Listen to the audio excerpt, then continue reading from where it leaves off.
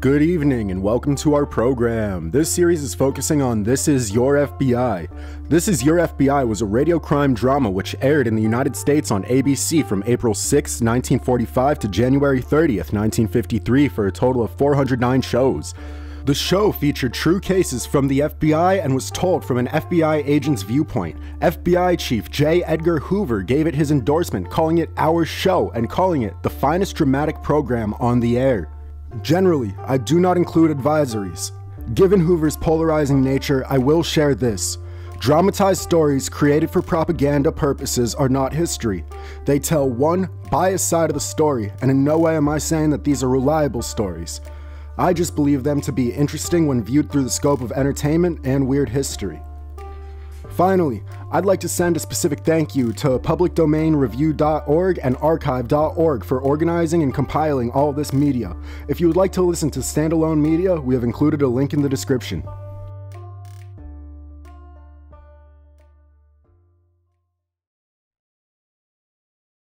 The Equitable Society presents This is Your FBI.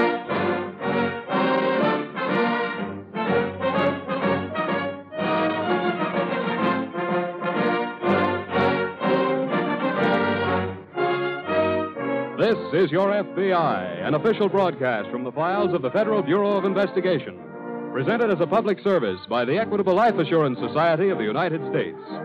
To your FBI, you look for national security, and to the Equitable Society for financial security. These two great institutions are dedicated to the protection of you, your home, and your country.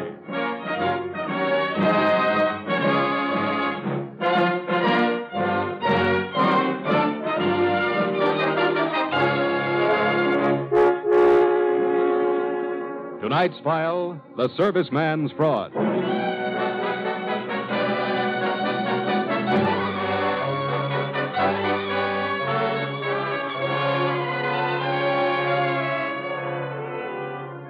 war is over and the fighting men are coming home. But for the FBI, the war, the fight against fascism, is not over. In a sense, it still goes on, because the fight against democracy still goes on. Not only overseas, but right here in this country. In a Midwestern state, for example, where a thin, white haired man named Martin Bessemer was trying to form an organization called the United Brotherhood of America. Bessemer made his speeches in a large hall, and in his audiences were many veterans of our war against fascism. Directly behind this hall, he had his offices a large outer reception room and a small inner office used only by Bessemer, by his red haired secretary, and by his business manager, a hard, quiet faced man called Frank Kingston. Leila, Hmm? you finished typing that letter? It's right over there. Oh, okay. When's Bessemer going to sign it? As soon as he finishes rousing the rabble. oh. Oh. oh, you know, baby, a million copies of this ought to open a few thousand vets with plenty of separation pay. They could all hear him talk. You know something funny, Frank? Hmm? I listened to him the other day. And you almost believed him. Almost. If I'd had my purse, I would have handed over the membership fee and joined up. ah, the more suckers who feel that way, the more money in the bank for us. For us. Yeah. We're in it together, baby. Frank. Huh? When are you going to get him to sign that check? I told you that When when the he... time comes. Yeah. And I told you I'm not going to sit around here waiting for dollar bills to start. Hello, Mr. Bessemer. Hello, Frank. Hello, Lila, my dear. Hello, Mr. Bessemer. I've been working hard today, haven't you? Pretty hard. Well, I'll take your dinner tonight and make sure you're getting enough to eat. Oh, uh, here's the letter we drew up, Mr. Bessemer. Ah, thank you. Uh, the United Brotherhood of America has a particular appeal for our veterans. I realize their plight and promise to give every honorably discharged man who joins the Brotherhood a battle bonus amounting to. I've never promised anything of the kind, Frank. Well, there are a couple of million vets waiting for somebody to lead them someplace, Mr. Bessemer. You know, vets with dough. You want to get them to join, don't you? Well, naturally. Then sign here. Oh, now look, You hired me to boost your membership. Sign here. Kingston. Nobody tells me what to do. Nobody. Oh, I'm sorry, Mr. Bessemer. I didn't mean to sound as though I were giving orders. I just thinking that if we can pull in the vets, the organization ought to get big enough to swing your election at the state legislature. Or maybe even Congress. Hmm. Well, in that case, uh, let me have your pen, Frank. Okay. Here. Ah, thanks. Ah, there we are. I'll pick you up about six, uh, Lila. Okay. Goodbye, my dear. Bye. Goodbye, Frank. Uh, goodbye now. He'll pick me up at six. So what? So we'll have dinner and he'll slobber over me again. All right. All right, nothing. What kind of a guy are you to let someone else take your You girl? won't be bothered much longer. No? No. Our friend just signed his last will and testament. This letter? Yeah. It's going to mean a killing for us and the finish for him. How? Well, it's going to hook a lot of poor fish, baby. But it's also going to make somebody start an investigation.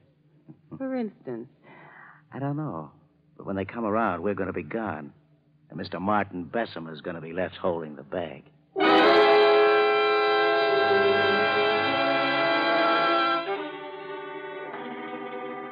It's easier to get a mailing list of veterans, and it's easier to stir up some of those veterans. The end of the war doesn't mean peace for the country. It means a period of transition, reconversion, change. Many fighting men who have come home want that period to be swift and sure and right. So when they read a letter like Martin Bessemer's, many vet- veterans get excited. Some want to join his organization. And some, some react the way a boy like Eddie Butler did.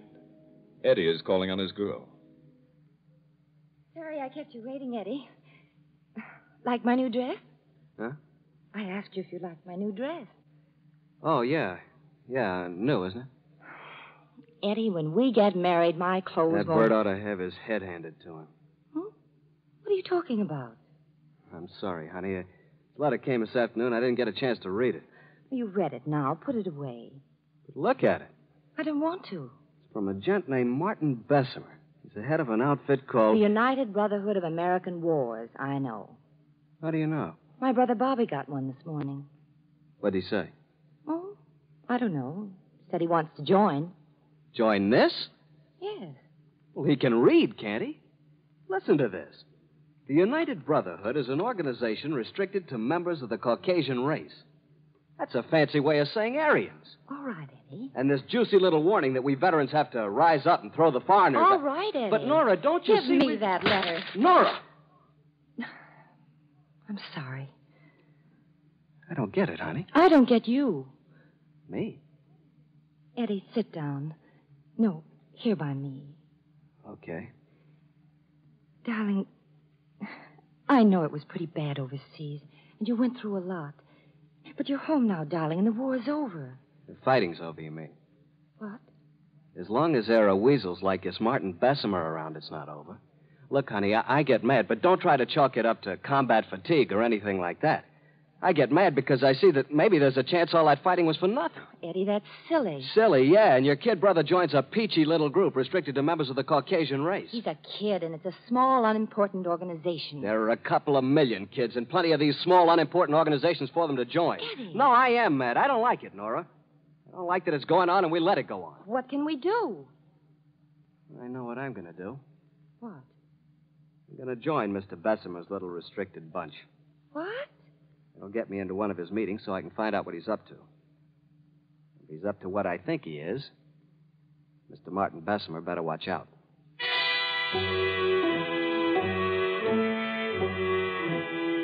Martin Bessemer did not know that the FBI had been checking on his activities.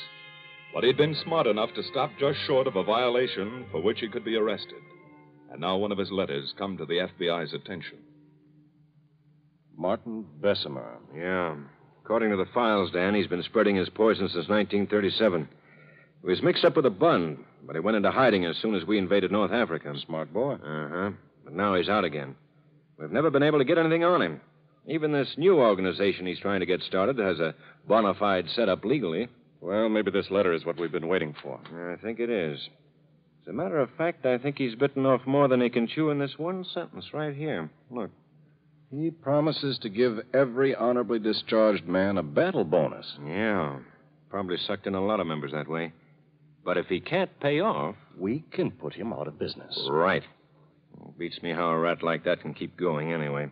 It's a wonder that someone doesn't get so mad at him that. Well, let's get moving. We'd better take a good look at Mr. Martin Bessemer's books.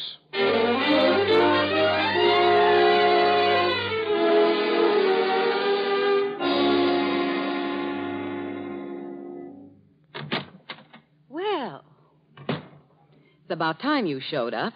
I've had my hands full, Lila. Who was she? Oh, stop being cute. I just had a big session with some vet named Eddie Butler. He's helped to knock Bessemer's block off. I know. He was here before. But we've got a bigger problem. What do you mean? I had a visitor. A gentleman named Sherman Sherman? from the FBI What do you want? to look at the books. You didn't let him. No. But he said he'd be back at three. Hmm. It's almost that now. I know. What are we going to do, Frank? Oh, it's going to be all right, baby. It says here. I tell you, it's going to be all right. All this means is that we clear out a little ahead of schedule. Without the money. With the money. Well, he hasn't signed that check yet. You will. Hello, Lila, my dear. hello. Frank. Oh, I'm glad you're here, Mr. Bessemer. Uh, anything wrong? Well, yes, we've gotten some disturbing news. What? Well, the FBI was here to look at our books. The FBI. Why? Well, I guess it's because of that last letter you sent out. One where you promised the boys a battle bonus. You see, if they look at our books and find that you can't pay that bonus, they could send you up for fraud. Go on. Well, I've got a check here already for your signature, Mr. Bessemer. It's for the money in our account. Well, uh, what do you plan to do with it? We can take the money and run. Take it and run. Yeah. You cheap gangster. Don't be so easy with your hands, Mr. Bessemer. You've got everything ready, haven't you? You knew this was coming and you planned for it. So what? You cheap little racketeer. Easy, Bessemer. Uneducated scum that'll do anything for money. I warned you. You are scum. You're from the slums, and your parents were.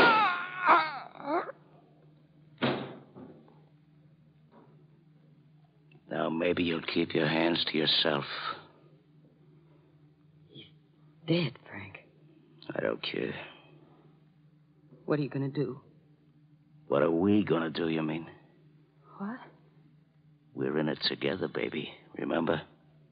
And we're good. Shh. What's the matter? Somebody's in the outer office. Huh? I heard him. We'll see who it is. Just open that door a crack. Oh, Frank. Go on.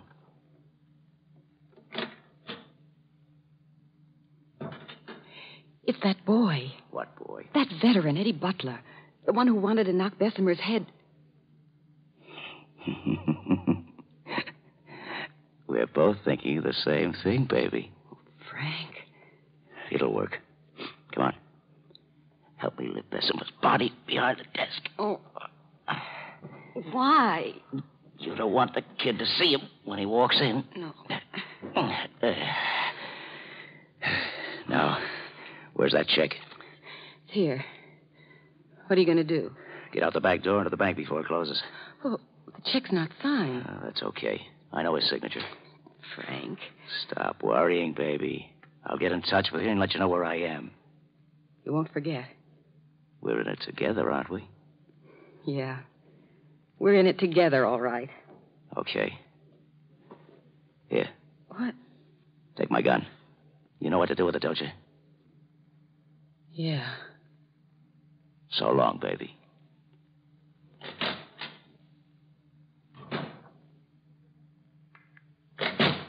Mr. Butler, Yeah? come in, won't you? Thanks.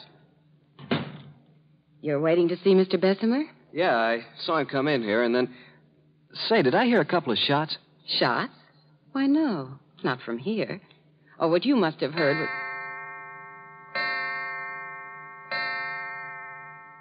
What's the matter?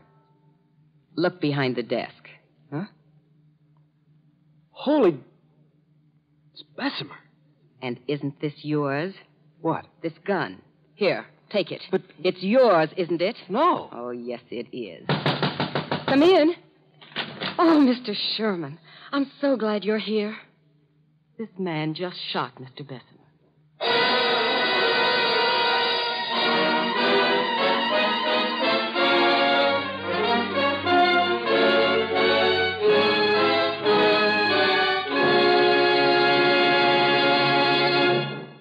Momentarily close the Equitable Society's presentation of the Federal Bureau of Investigation file on the serviceman's fraud. We will return to this case in just a moment. There's something about the name of the Equitable Life Assurance Society of the United States that seems to arouse quite a lot of interest. Again and again, people say to us, by the way, why is the Equitable Society called a society? Well, that question is easily answered. The Equitable Life Assurance Society is called a society because it is a society, in every sense of the word. It is an association of men and women who share the conviction that contentment and security depend on practicing the basic American virtues of thrift and self reliance and cooperation. We who are members of the great Equitable Society family know that it isn't enough to work for ourselves alone. We know that we do better when we lend each other a helping hand. And that is why we have joined forces in the Equitable Life Assurance Society of the United States.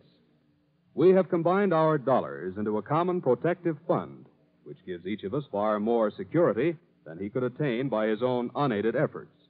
The fact that three and a quarter million Americans think this way and have become Equitable Society members gives our organization tremendous stability and safety. At the same time, the fact that this is a society means that we individual members receive personal consideration and warm, friendly attention in all our dealings with the management. Finally, we have the satisfaction of knowing that our premium dollars are constantly invested in ways that benefit the entire nation. For by serving its members, the Equitable Society serves America. And now back to the file on the serviceman's fraud.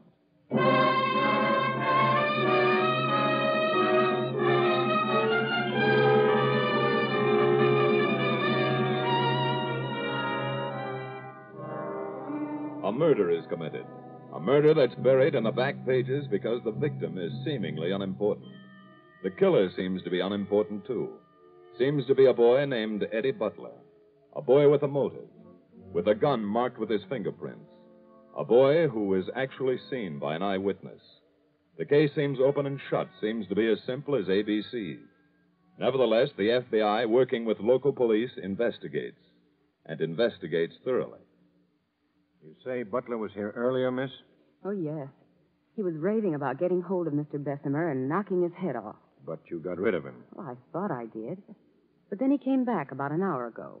He just stormed in here and made a wild speech, and then he took out his gun and fired. That was a few minutes before three. Yeah. Well, I feel sorry for the kid, but that happens. What happened? Well, you know. Those boys are trained to kill. They go overseas and do a lot of killing, and it just gets in their blood. They come home, see something they don't like, so they kill. Is that what Mr. Bessemer thought? Why? It sounds like something he might have said.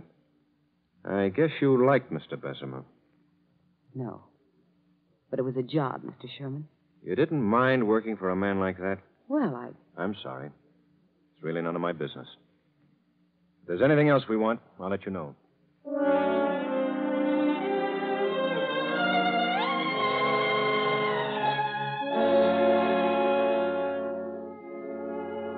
Murder is committed. But it was a letter which brought the FBI to this case. A letter involving a plan to defraud veterans. And so the books of the organization called the United Brotherhood of America are turned over to a special agent, while the agent in charge aids the local police to follow up the murder.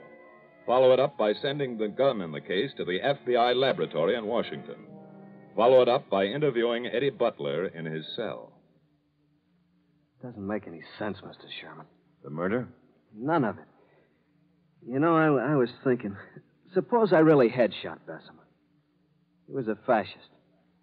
In the Army, they taught us what a fascist is, and overseas, we saw him and killed some of them. Bessemer wasn't any different, Mr. Sherman. Except maybe he was born here. Uh, don't try to make any sense out of that, Eddie. It'll go out of your head. I think I'm going out of my head anyway. Mr. Sherman, I, didn't kill Bessemer, but I'm glad he was killed. And even if it hangs me, I'll keep saying that. So maybe I am out of my head. Eddie, uh, you're sure there wasn't anybody else in that office when you walked in? Just a girl. What about earlier? I thought I saw that guy go in, but I don't know. What guy? Some gent who'd been trying to get rid of me. What was his name? I don't know. What did he look like? Oh, pretty solid. A little taller than me. Kind of a thin, hard face. Dark hair. That's all I remember. And you don't know who he was? Well, he said he was Bessemer's business manager. Business manager. Yeah. Thanks, Eddie. Thanks very much.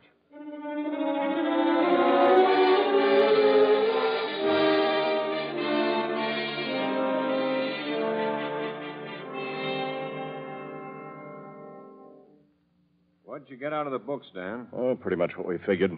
Bessemer couldn't have paid off that battle bonus if he stood on his head. Not that he had any intention to. Of course not. Matter of fact, all the money was drawn out of the bank. When? About one minute before three. The teller remembered because he was ready to close up. Well, Bessemer was dead by then. Sure. But I don't know who the man was who cashed the check. Probably countersigned with a phony. Yeah, that's what I figured. The check's on its way to the lab. Good.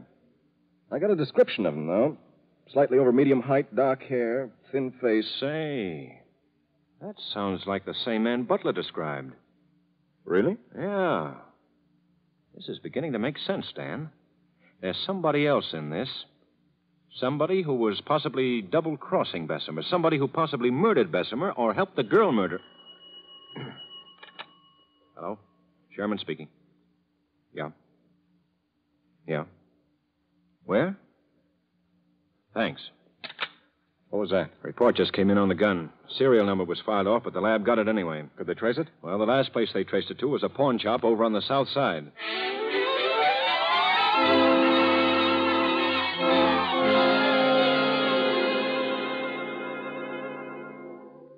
Now, look, we don't want to arrest you for selling the gun. We just want to know who you sold it to.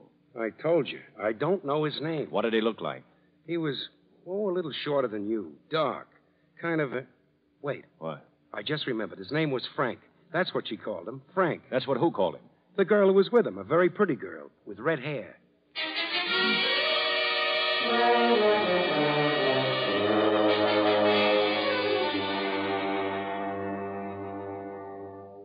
Here's a report on the check, Dan.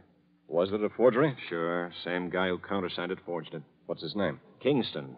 Frank Kingston. We have a lead on where he's hiding. Williams traced a call the girl made him last night. Well, let's get him then. Ah, there's a catch. What? We can probably hold him on fraud, forgery, larceny, but. But how do we get him on murder? Yeah. As long as that girl sticks to her story, we're. You know, like- if there were only some way of getting one of them to double cross the other. Say, I have an idea. What's that? The old bellboy trick. It might work. They've never seen you. So if we can get that girl over to Frank Kingston's apartment tonight.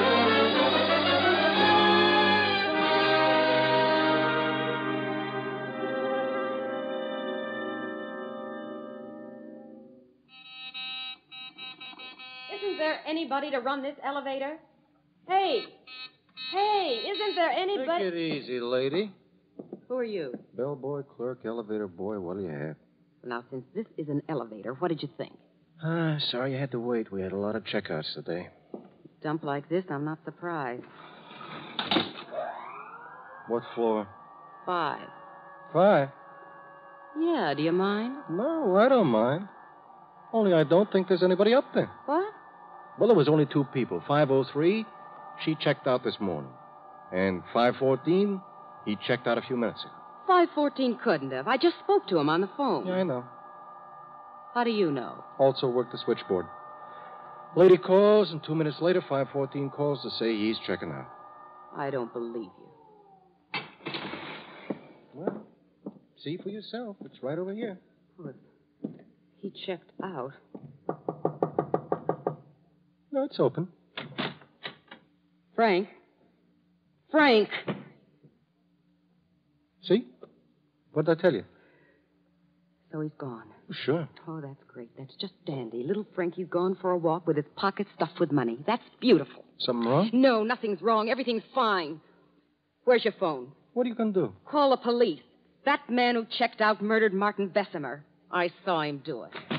I don't think you'll get very far, miss. Mr. Sherman. He's still downstairs waiting for you. Downstairs. Sure. This is 614, Lila. Six, but But this elevator, boy. Also, house detective and FBI.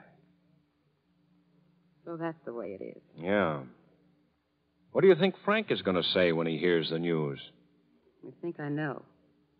He'll say we're in it together, baby.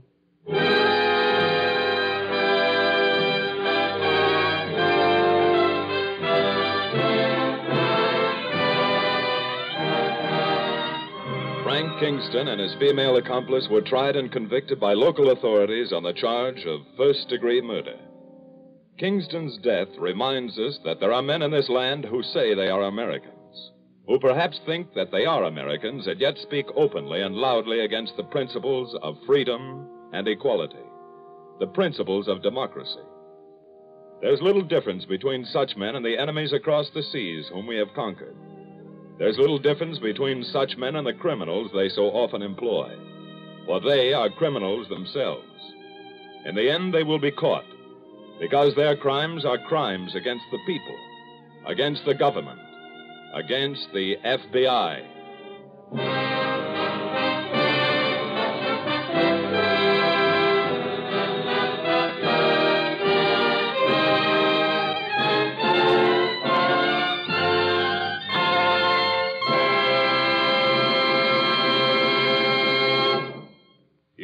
About next week's case in just a moment. Tonight, will you join the Equitable Society in a salute to an industry which shares the responsibility of passing on the wisdom of the world from one generation to another? An industry which makes possible the great system of free education for everyone, which is one of the foundations of our American democracy. Yes, a salute of gratitude to the book publishing industry of the United States. During the war, the publishers rose to the emergency and supplied over 90 million specially manufactured paper bound books to the armed forces, almost 800 titles, about eight books for every serviceman or woman. Now that peace is here, we will look to the book publishers for more than 10,000 new titles each year. These will range from the scientific works, which carry forward the torch of progress, to the fiction, which relaxes you in your hours of leisure. For many years, funds of the Equitable Life Assurance Society of the United States have been invested in the book publishing industry. In fact, Equitable Society funds have been a consistent factor in the growth and development of most of the great industries on which America depends for full employment and continued prosperity. Just as Equitable Society dollars were fighting dollars in wartime, so at all times they are security dollars for you your home, and your country.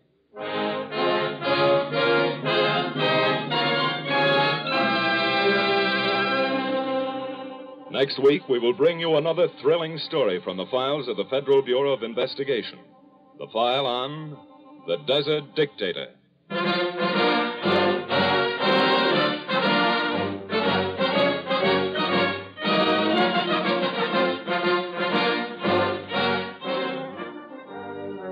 Incidents used in tonight's Equitable Society's broadcast are taken from the files of the Federal Bureau of Investigation. However, all names used are fictitious, and any similarity thereof to the names of persons living or dead is accidental. Programs in this series of particular interest to servicemen and women are broadcast overseas through the worldwide facilities of the Armed Forces Radio Service. Tonight, the music was under the direction of Leith Stevens. The author was Arthur Lawrence. Your narrator was Reed Hadley, who appears through the courtesy of 20th Century Fox. This is Your FBI is a Jerry Devine production. This is Dick Joy speaking for the Equitable Life Assurance Society of the United States and inviting you to tune in again next week at this same time for This is Your FBI.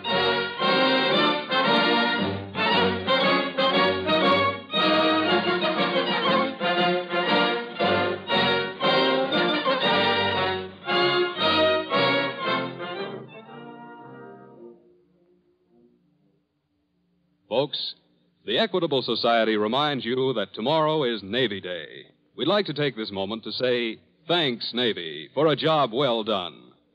The U.S. Navy played a tremendous part in beating the Japanese. It was the tiny Pacific Fleet that stopped the enemy offensive at Midway. Navy ships turned the tide of the war in the furious night battles off the Solomons.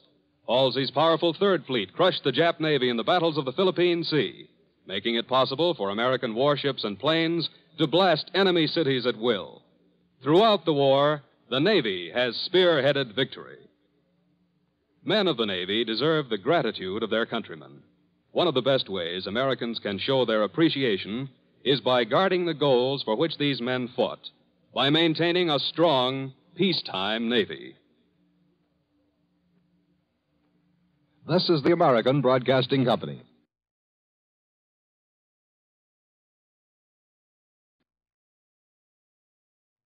The Equitable Society presents This is Your FBI.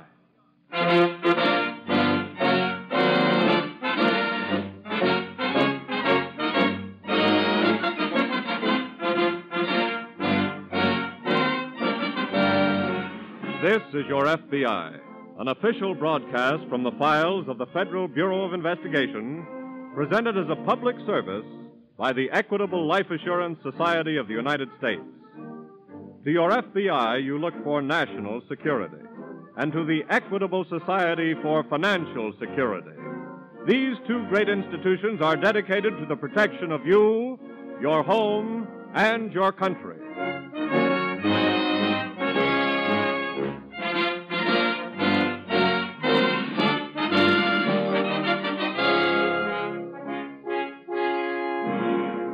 Tonight's file The Desert Dictator.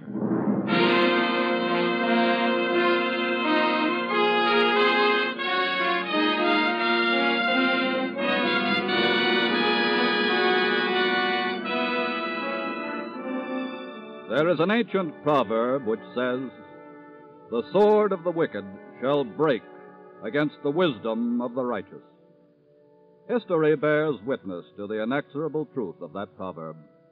And likewise does tonight's case from the files of your FBI, in which a ruthless criminal, a killer, is defeated by it.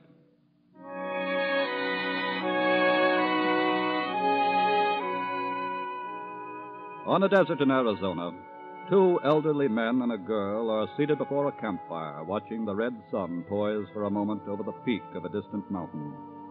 Gradually, the red turns to pink, then to purple, then indigo. Now it is night. Doc? Huh? If I freshen up that fire, you could see a little better. See better? Yeah. He didn't hear a word you said, Mesa. No? Now, Larry. Uncle Harold, you know that when you're making notes, you get so engrossed you could do it in the dark. You exaggerate my talent.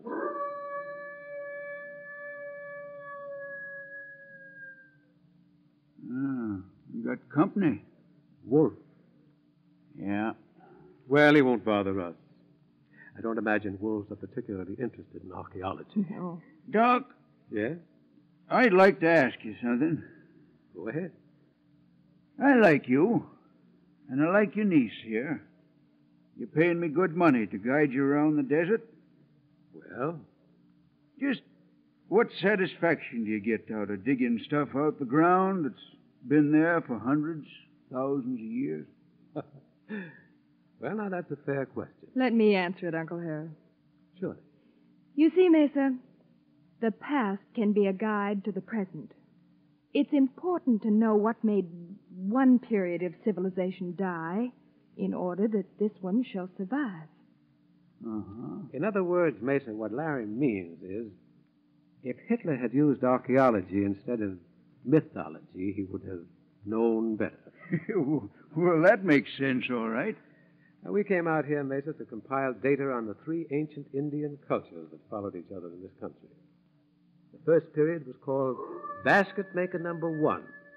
See, at that point, the Indians were nomads, hunters. And then Basket Maker Number Two. What's wrong? It's just the horses, Larry. And that wolf may be flirting around with them. I better take a look. Ah, what's the matter with you critters? What you got your noses in the wind about? Settle down now, settle down. They all right, Mesa? They are now, Miss Larry. Has that wolf upset them? I don't know, but something has. What do you mean? Well, I got a feeling that we ain't by ourselves out here. What? What's that? I think I'll just get the old carbine Drop ready and that gun, mister. You hear me? I said drop it. Now, look, I'm in the dark and you're in the light. That makes you a real easy target. I ain't dropping no gun. I'll leave it lay there. The next one slams into you. Are you all right, Mesa? yes, ma'am. You Wild West boys ain't the only ones that can shoot, you know. Who are you? This company, Well, you're not exactly welcome. That ain't what I'm after. His arm is bleeding, It's Uncle. been bleeding all day. Does it worry you? No. Thanks. What's the setup here? Well, speak up, one of you. Talk. I'm an archaeologist. If you know what that means. I know what it means. Mummies. Well, that would be the common Egyptologist. Never mind connotation, that. Where do you fit in the picture, sweetheart? Me? Yeah. Is this old Guy your husband? He is my uncle, That you couldn't help. Who's Buffalo Bill here? our guide. I thought maybe you dug him out of the ground. No, just a Shut minute. up. Got any bandage, sweetheart? Bandage. For my arm. Go get it. When I'm fixed up, I'll tell all of you what you gotta do to be able to see the next sunrise. Okay?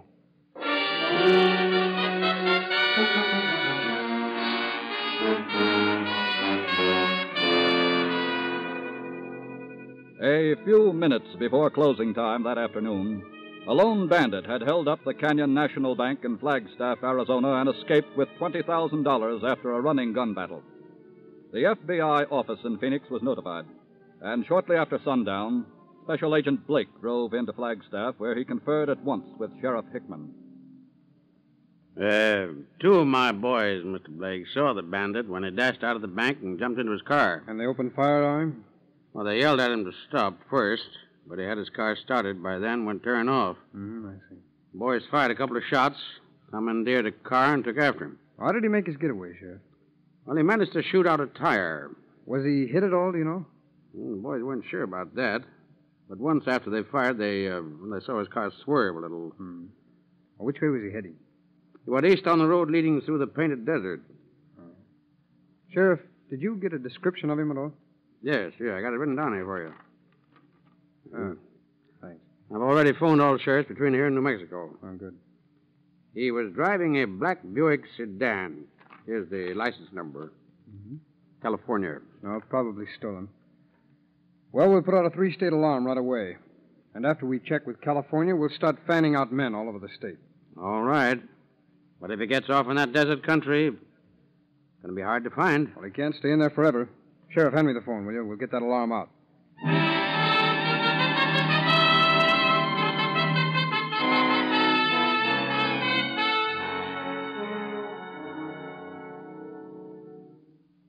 Well, there you are. Thanks, sweetheart. Yeah, it's a real good bandage. You put it on with love and care. I put it on because I had to. Stop being a female. He's evidently evolved a theory, Larry, that you're really fascinated with. Never mind the book talk, Doc. Let me give you the real feeling on me. Please do. I suppose you've all guessed by now that I didn't get shot cleaning a pistol. I, uh, borrowed the 20,000 bucks that's in this bag from a bank today. I'm gonna have to borrow your car to get it out of this country. Our car? That's right. I didn't waltz two miles across this desert to your campfire just to get a little first aid. My car burned out of bearing. I traded in for yours, except that I pushed it over a cliff. What's so funny? You're in a bad way, unless you can use a horse. What do you mean? We haven't got a car. You're lying. You've got a car around this camp somewhere. You're at liberty to look for yourself. Of course, if you care to wait until tomorrow. Larry. What did you start to say about tomorrow?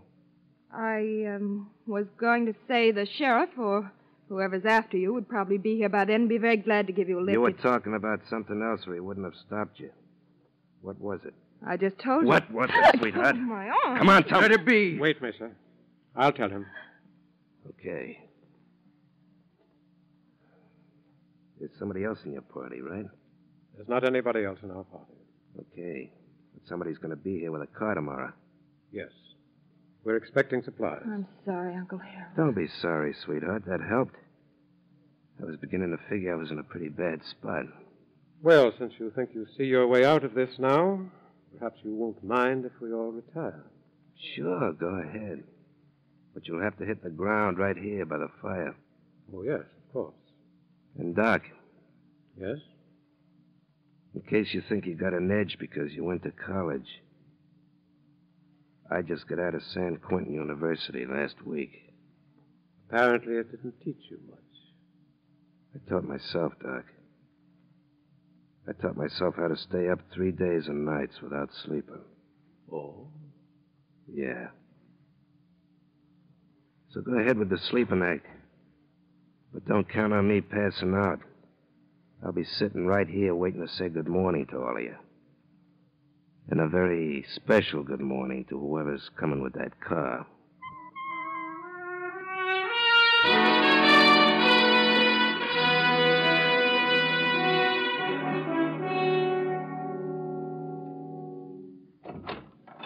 Good morning, Sheriff.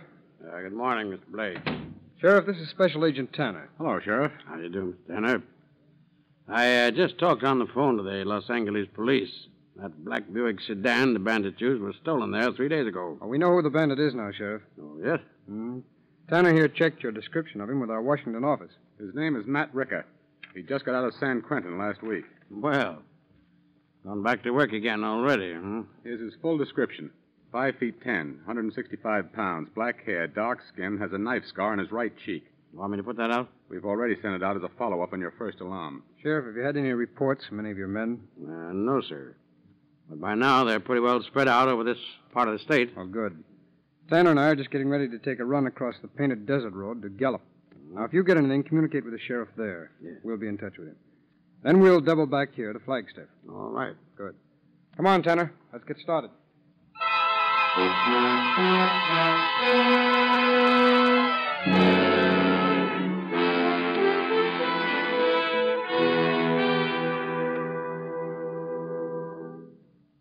Well, how did everybody sleep? How do you think? You should have knocked it off real good, knowing somebody was standing by watching over you. That was very comforting. Thanks. Hey, Pop, pour me another cup of that. J- Hey, what are you doing there? Just fixing the fire. Why? You're lying. You're doing tricks with the smoke, trying to make a signal. I Get away from I there was before I slam lead into you. And pour me a cup of that Java. I ain't waiting on you. I said pour me a cup of that Java. I'll get it for Pop's you. gonna get it for me. I ain't getting you nothing. Okay, Pop, you asked No, for don't. it. Wait a minute. Listen. Oh. This is what I've been waiting for. All right, just stay put. If anybody lets out a crack before I get that guy under control, there'll be some blood on his sand. Well, howdy, folks. Howdy. Morning, Marshall. How's everything going? Just fine, Mr. Marshall. I got a good mess of supplies for you. Is that so? Yeah. Well, looks like you took on a new member since I was out here last, Doctor. That's right. Who is he? He just joined us last night. Oh, that's funny. What's funny? You look quite a bit like a man I heard about yesterday. A man they're looking for back in Flagstaff. And if I'm not mistaken, his name is Matt Ray.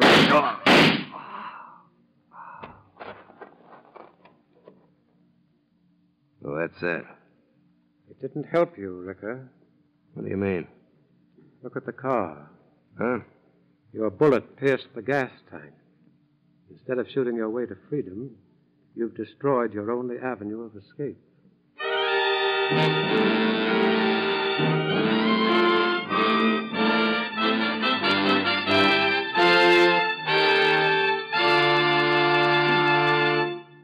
We momentarily close the Equitable Society's presentation of the Federal Bureau of Investigation file on the Desert Dictator.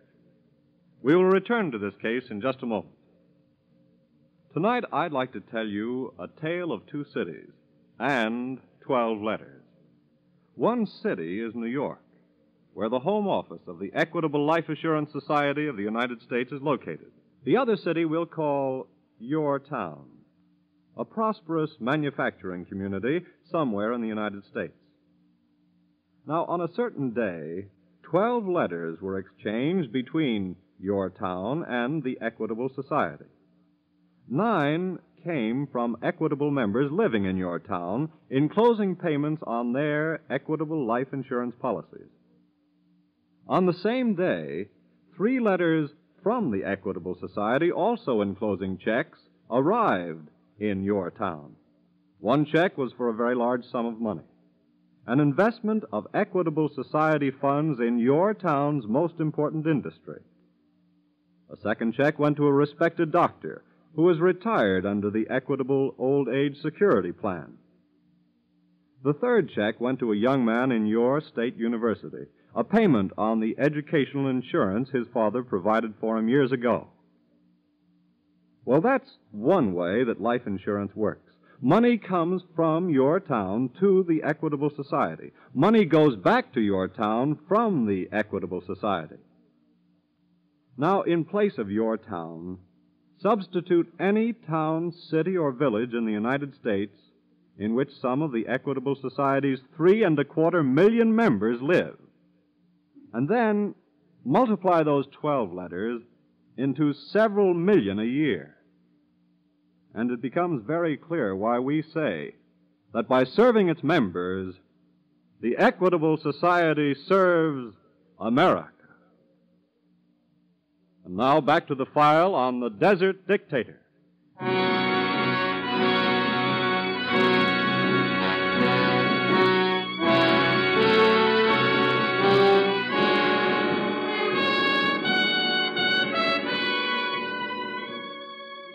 The cynical irony of quicksand is that the more desperately one struggles to escape from it, the deeper one sinks into it. Matt Ricker feels the grim touch of this same irony as he watches the gasoline flow from a bullet hole in the tank of the automobile in which he had hoped to escape from the desert and the vicinity of his crime of bank robbery. All right, so I blew that chance for getting out of here. Don't waste any breath laughing at me because I'm not worried a bit. We'd hardly laugh with the body of an innocent man lying there. You've got a lot more to answer for now, mister. You don't think I'm going to sit here and wait for the law to come and get me, do you? Ricker, I wasn't very interested in you before, but now I am. What do you mean? Up to this point, you've just been a petty annoyance, which we've been helpless to remove. From where I stand, you're still helpless, Doc. That remains to be seen. What do you think you're going to do? That depends entirely on what you do. No matter what I do, the odds are all in my favor as far as you're concerned. They're all in favor of the rabbit, too. But he didn't win the race. Look, Doc. I got two more days and nights before I even have to think about sleeping. Well, let's get moving. Any particular direction? I'm going to put that up to Buffalo Bill here. Put what up to me? You know this country like the doc knows a book.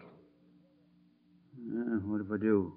You're going to take us out of this desert to a good hideout over in the mountains somewhere. I'll figure out the rest when we get there. I ain't taking you nowhere. Mesa, his time is running out. I'd like for us to be there when it does. Uh, whatever you say, Doctor. We'll pack up and let's get moving. Oh, maybe this will get a word out of you, sweetheart. Well, I'll have to ride double with somebody. Guess who I've picked? thanks. That way I won't have to look at you. Stop playing hard to get. Okay, let's get out of here.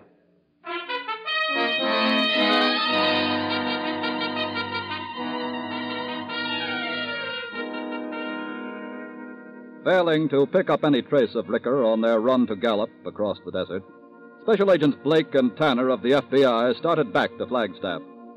And late that afternoon, as they drove along the desert road, Blake saw something to the left of the road where ground broke sharply off into a shallow canyon. Uh-oh. What's that? What do you see, Bob? I didn't notice that when we passed you this morning. What? Yeah. Look back there where the ground drops off. Well, looks like car tracks. Yeah. Come on, let's take a look. A car turned off the road here, all right. The tire marks go right out to the edge there, too. Yeah. Hey, Bob, look down below. Hmm. It's Ricker's car, all right. Let's get down there. Oh, wait a minute. Ricker won't be in it. See? These heavy footprints in the middle of the tire tracks. Mm-hmm. He must have pushed it over the side himself. Yeah. I guess it either broke down or he decided it was time to make other arrangements. Look, these footprints go across the road toward the desert. Yeah. Yeah, there they go. If I'm not mistaken, Ricker was wounded. Look. See those little dark spots here? There's some more here. Uh-huh. Hey, I just happened to think. You remember that archaeologist we met in town a couple of weeks ago? Dr. Endicott? Yeah, that's him. Uh-huh. Well, from what he told us, I believe his camp is right out in this direction. Hey, that's right. And if Ricker were here last night, he probably saw Endicott's campfire and made for it. He could have seen the fire for miles. We better get out to that camp. Where's that trail start? A few miles up the road. Come on.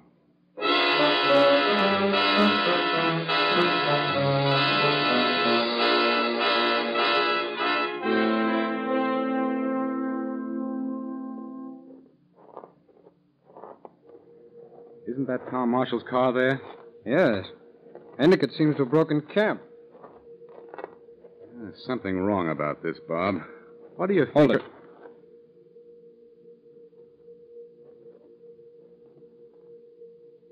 It's Marshall. This must be Ricker's work. He's evidently taken Endicott's party with him. There are no supplies here. Well, then he's trying to get somewhere to hide for a while. Come on, it's getting dark fast. Look around for any sign of what direction they took. Here are some hoof prints. A lot of them. Leading north. Well, there's nothing but open country to the north. Well, maybe the trail turns later and. Hey, wait. Find something? Yeah, give me a flashlight. I hear you. Now, look at that. Looks like somebody's been drawing pictures in the sand. Well, those are Indian symbols. Well, that's your dish, Bob. What do you make of it? Well, I'd say Dr. Endicott left him. That first sign is a snake. Ricker. Yeah. The stair step pyramid represents a mountain. The sun going down behind it means west. Uh huh. Yeah, but but what's that twisting line across the mountain? Well, that's um, that's the symbol for for a trail or a road. Oh. Come on, let's get Marshall's body back to the trading post and call Flagstaff. I want to get a map of this region.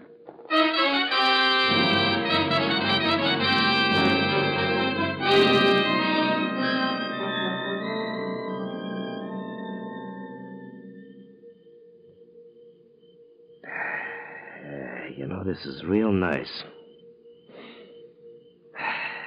I like mountains. Smells good, don't it? With you around, Mr. Ricker, it's difficult to tell.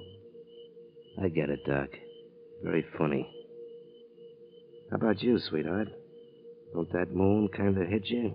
I have to agree with my uncle. Thanks. Hey, wait a minute, Pop. I told you not to fool around with that fire. I'm just putting on some more wood. Well, none of that signal stuff. I said I'm just putting on wood. Okay.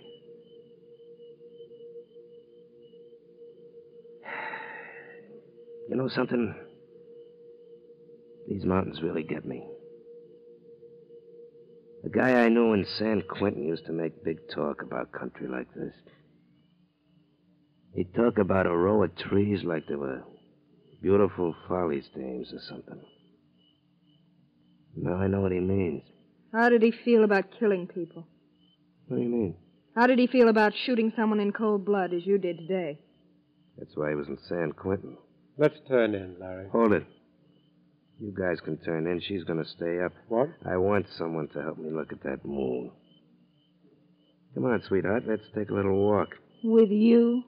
Yeah.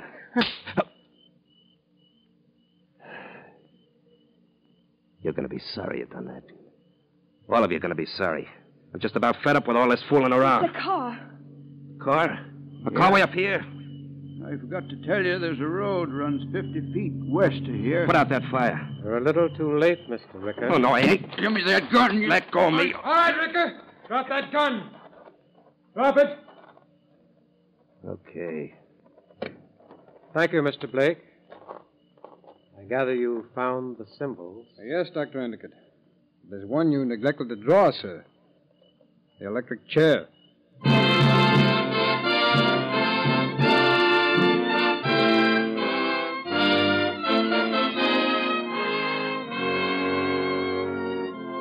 Matt Ricker was tried and convicted on the charge of first degree murder. He was put to death in the state penitentiary. The career of crime is a losing game, and neither the criminal's wit nor his cunning nor his guns can overcome it. For they are no match for the thing which inevitably defeats him the collective skill and intelligence of those who enforce the law. He is but one. They are many. He is fallible. They are sure footed. He is wrong. They are right. And as the ancient proverb says, the sword of the wicked shall break against the wisdom of the righteous.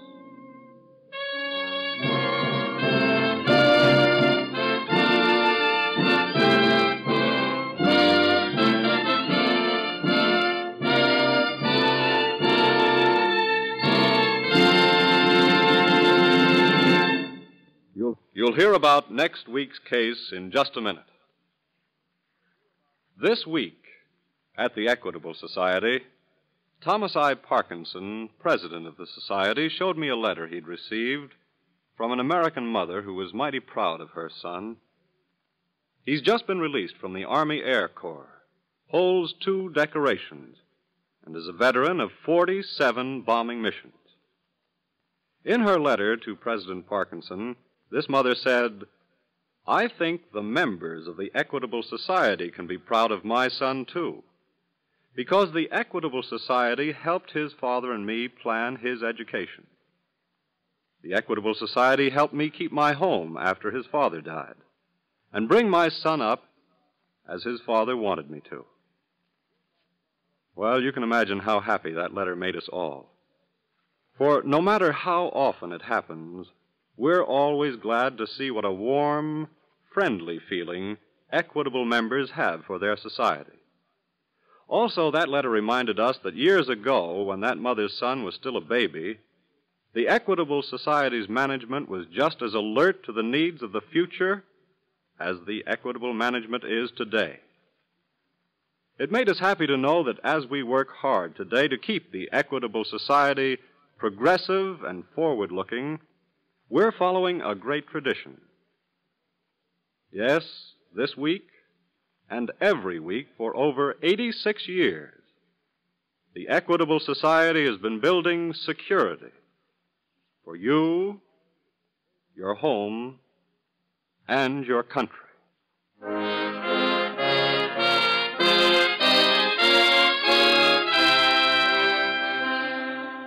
Next week, we will bring you another colorful story from the files of the Federal Bureau of Investigation The Bogus Bankruptcy.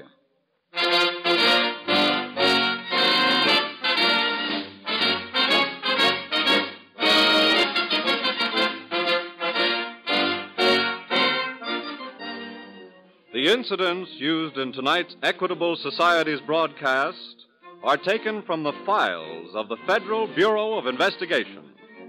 However, all names used are fictitious, and any similarity thereof to the names of persons living or dead is accidental.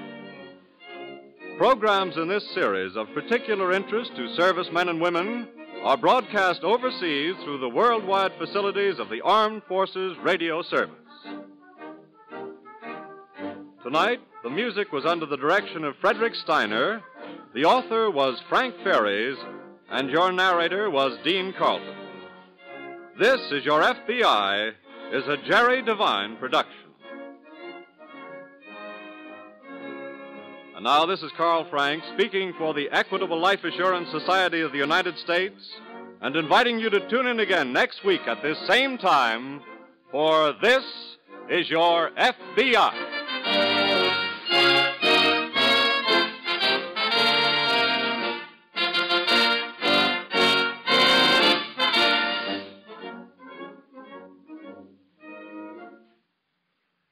This is the American Broadcasting Company.